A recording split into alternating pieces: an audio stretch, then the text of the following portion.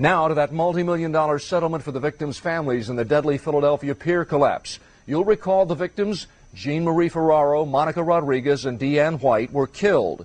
40 other people injured in the May 2000 collapse of Pier 34 in the Delaware River. The tragedy sparked more than 40 civil lawsuits. Action News reporter Matt O'Donnell's live on Penn's Landing with the latest on this. Matt? Well, Rob, at this point, Pier 34 remains an abandoned lot as it has for the last four years. It's also a very dangerous place to be, and for that, it is still fenced off to anyone trying to go on it.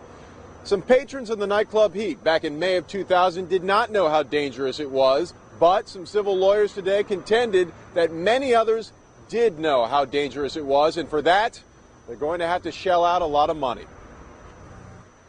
And if people had done the right things, spent the right amount of money, and made the right decisions, the three young women who lost their lives would be alive today. Two high powered attorneys in Philadelphia sat in front of a model of what Pier 34 looked like the day of the collapse to announce that more than a dozen parties are forking over $29.6 million. The defendants include pier owners, engineers, builders, contractors.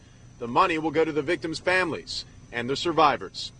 It happened nearly four years ago. The nightclub Heat at the end of the pier crumbled into the Delaware River. Dozens were injured. Three women died. They happened to be co workers at the New Jersey State Aquarium. While the settlement is no admission of guilt, the lawyers say there's plenty of blame to go around.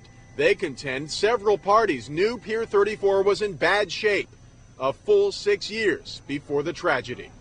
On behalf of the families, uh, this is the beginning of closure for them. The fact that the defendants have agreed to pay nearly $30 million to them in their minds uh, is the beginning of acceptance of responsibility.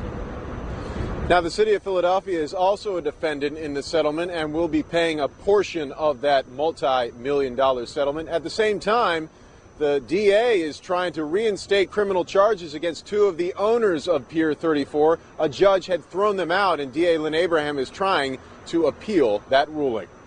Live at Pier 34 at Penn's Landing, Matt O'Donnell, Channel 6 Action News.